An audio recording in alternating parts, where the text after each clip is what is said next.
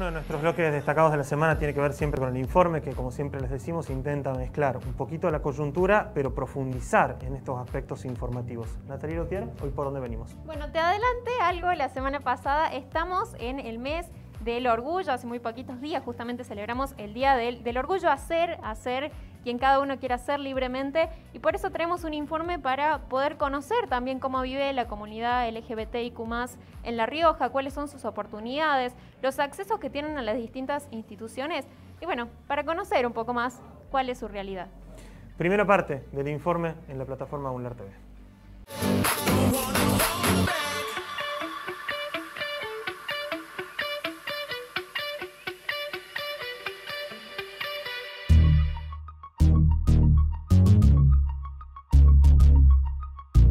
La verdad que ser trans en La Rioja es un poco un desafío, ¿no? Todavía falta educación en nuestra sociedad para que podamos tener una inclusión real, digamos, para que podamos estar básicamente en, en, todos los ámbitos como lo están todas las personas.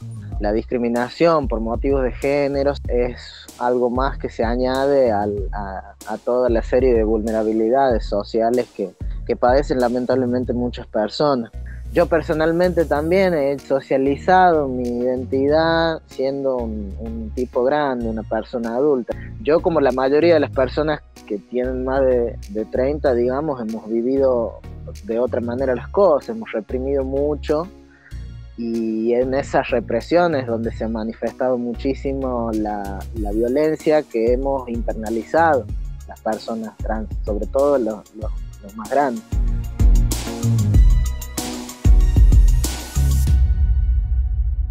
Lo vivimos enterrando eh, a compañeras eh, antes de los 40 años de vida. Eh, estamos hablando de que la edad promedio de una persona trans es esa.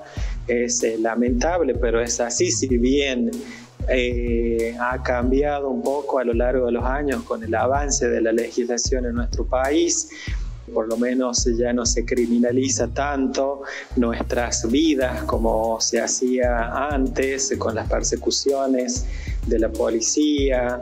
Por ejemplo, el 90% de las mujeres trans en nuestro país ejercen el trabajo sexual. Por supuesto que están las compañeras que eligen el trabajo sexual, y eso es súper respetable, pero lamentablemente la gran mayoría que lo está ejerciendo está ahí porque no tuvo otra opción. El 70% de las personas trans nunca fueron a una entrevista formal de trabajo.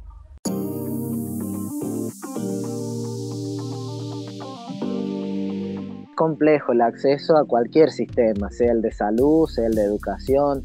Yo voy a citar una frase de Loana Berkins que ella decía, si la universidad es pública y es de todos, de todas y de todes, ¿a dónde están las trabas, no es cierto? Porque no es muy común que en, los, en el ámbito de la universidad, no sé si ustedes en su carrera tienen compañeras trans estudiando.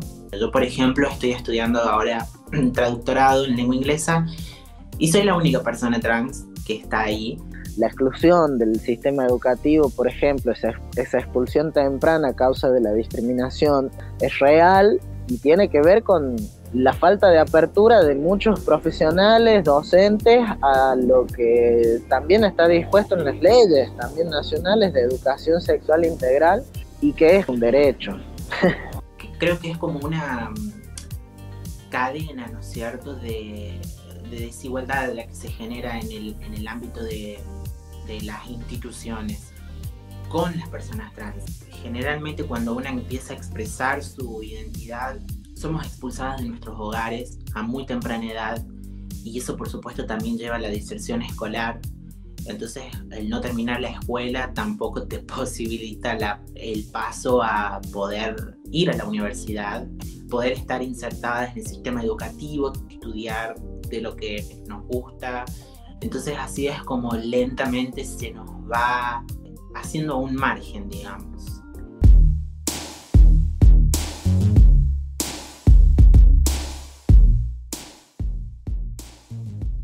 Tratamos, por ejemplo, con los compañeros de varones trans, no binarios y familias de La Rioja, que es el grupo que, que hemos armado en la pandemia, crear lazos entre nosotros, porque esa ha sido siempre la manera. Todas las personas trans hemos accedido a la salud y, y al conocimiento respecto a nuestros derechos, eh, de boca en boca, acompañándonos, siendo solidarios entre nosotros. El barrio que comenzamos a hacer para la comunidad trans, que está sobre la ruta 38, son 25 viviendas a donde además van a contar con un equipamiento a donde ellas van a poder trabajar. También esto tiene que ver con una inclusión al revés, no de que las chicas vayan a incluirse en un lugar, en un barrio o lo que fuere, sino que la sociedad requiera de ellas y las conozca por su capacidad eh, en cuanto a las cosas que pueden hacer. Nosotros en nuestra provincia tenemos aproximadamente 800 compañeras trans y acá estamos hablando de 25 casas.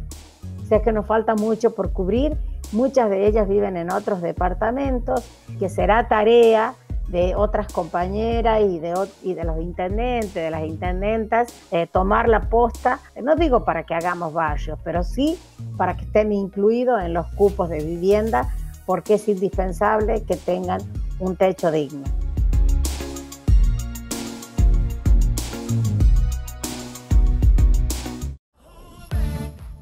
a veces cuando escucha estas historias se queda siempre muy enganchado con lo personal, con las historias más íntimas, pero al mismo tiempo hay un fenómeno económico de discriminación tremendo, los niveles de desocupación, la falta de acceso a derechos que otros sectores sí tienen, el promedio de edad, la verdad que impacta.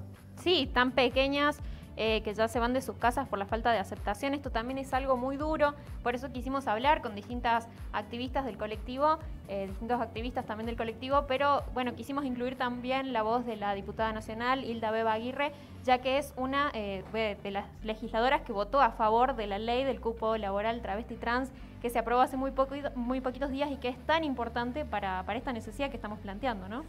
¿Segunda parte del informe? Sí, vamos con la segunda parte.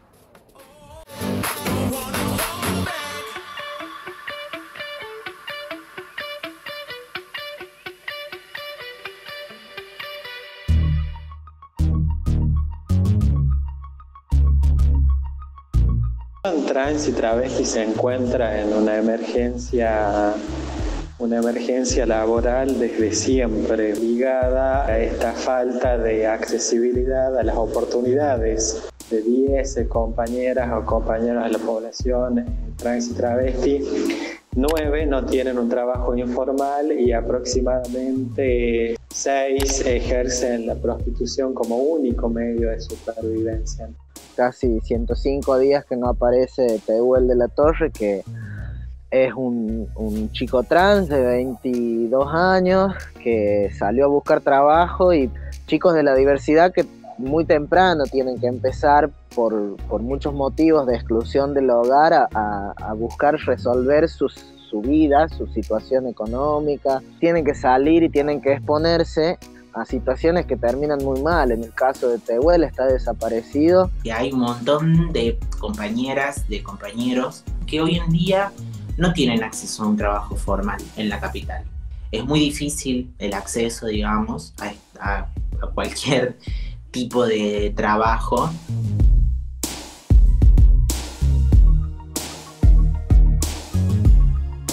El cupo laboral trans y travesti lleva aproximadamente en discusión más de, dos décadas.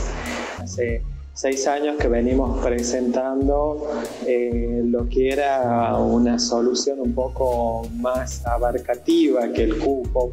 Entonces empezamos a hablar de lo que es la inclusión laboral a donde no se tenga en cuenta solamente a la parte pública, sino también a la parte privada. La ley, que obviamente lleva el nombre de nuestras más grandes referentes, eh, Diana Zacayán y Lona Berkins, la ley nacional, digamos que es muchísimo más amplio que por ejemplo, el decreto que sacó Alberto Fernández hace un tiempo, lo que abarca es que sea en absolutamente todos los espacios, sea tanto organismos del Estado, la administración pública, empresas privadas,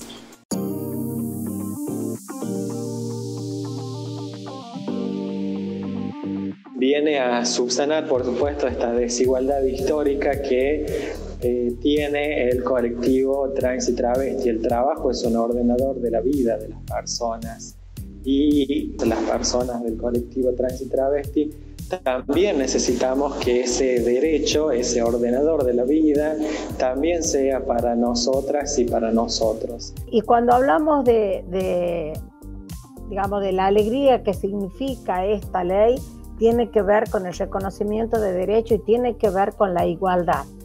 Esto que hace muchos años pregonamos y siempre hablamos de la inclusión, pero que nunca se efectiviza.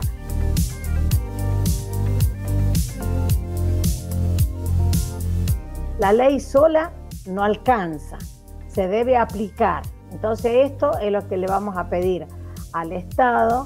Lo que resta es precisamente trabajar para que esto se logre. Ser importante va a ser reivindicativo siempre y cuando le genere condiciones reales de posibilidad de trabajo a las personas y no solo de trabajo, sino de ser parte activa de las instituciones. Estoy convencida, teniendo este derecho al trabajo, vamos a poder mejorar eh, la calidad de vida, vamos a tener una obra social, vamos a poder comprar un terreno, vamos a poder construir una casa y no tener que estar viviendo de asistencialismo o de buena voluntad de alguna persona que quiera colaborar con nosotras y con nosotros, vamos a poder proyectarnos más allá de la comida del día, como cualquier otra persona lo puede hacer. Generaría un impacto muchísimo más grande también en, en nuestras vidas, también en la sociedad.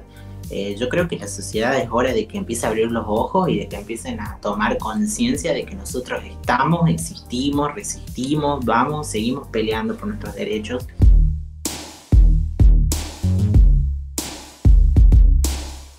Estos son pequeños pasos que se, que se vienen dando como resultado de una lucha de muchísimos años y de muchas vidas que se perdieron en esta incomprensión. Creo que por eso hoy es posible hablar en otros términos, hoy es posible ver una casa de gobierno que eh, va a ser iluminada con, con los colores de la, de la comunidad trans. Que llegue hasta el último pueblo a donde está la última persona trans o no conforme con su con el binarismo de género y que, y que podamos desarrollarnos plenamente en lo que, en lo que deseamos ser, ¿no es cierto?